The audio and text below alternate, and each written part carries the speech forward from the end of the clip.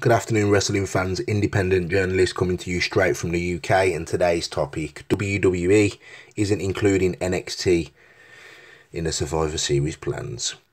WWE is not involving NXT in their plans for Survivor Series this year. There are a couple reasons for this. Ringside News exclusively reported that WWE is not considering NXT in their Survivor Series plans. The Wrestling Observer newsletter confirmed that the report and added some reasons Vince McMahon has for that decision. They want to keep the rosters separated. This is the reason why they nixed the weekly Raw Underground segments involving NXT performers, would mix things up too much. In case there was some kind of outbreak, they don't want it affecting their roster.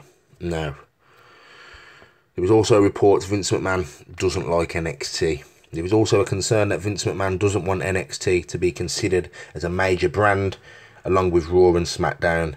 We have to wonder if Vince McMahon would have a different view on the matter if they weren't losing to AEW Dynamite in the ratings demographic each week. It was also noted that this is the reason why NXT superstars were used in the 2020 WWE draft. Now you have Retribution.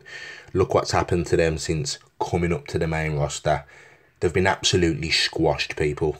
And that's that. If I hear any more news on this, I'll let you know. Hit that bell, share, subscribe.